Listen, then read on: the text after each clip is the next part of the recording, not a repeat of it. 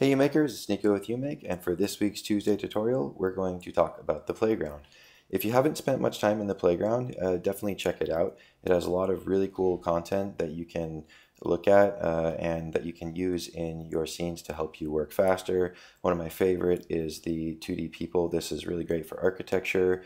Uh, the other very helpful uh, group is primitives, and these have both 2D primitives and 3D primitives. I want to talk a little bit about working with objects that you find in the playground.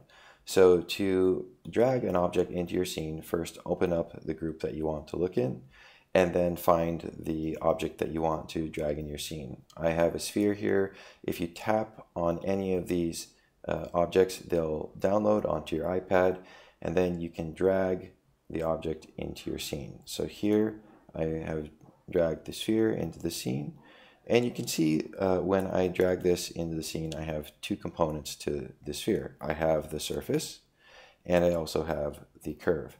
And what I wanted to show you is when you double tap on any of these uh, objects from the playground, they are automatically grouped. So if you want to work with them, you're going to need to ungroup them. So to do that, tap ungroup, and now you have the curve separate and the surfaces separate. The reason that the curves are left in some of the objects is so that you can use them to uh, work faster or rebuild something. So say for example I wanted to make another sphere really quickly, I could take this arc and I could drag it over, I could scale it up, and very quickly I can make another sphere. So that's just one, one way, one of the reasons that I left the curve in was to enable you to reuse that curve multiple times. In addition, if I wanted to duplicate this curve, for example, I can make a duplicate of it, and then I can uh, edit it. And if I wanted to make a different shape, something like this, for example, I can edit that curve. I can make another revolved surface. And now as you can see, we have something totally different.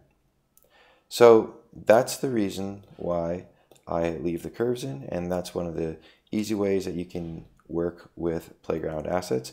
I hope this tutorial is helpful. Definitely check out the playground. It's uh, a lot of really great content, over 200 uh, pre-made objects where you're adding to it all the time. And if you have any requests for content that we should put in the playground, let us know in the comments below uh, and reach out to us on YouTube, Facebook, Twitter, and Instagram. Take care, guys. Have a great week.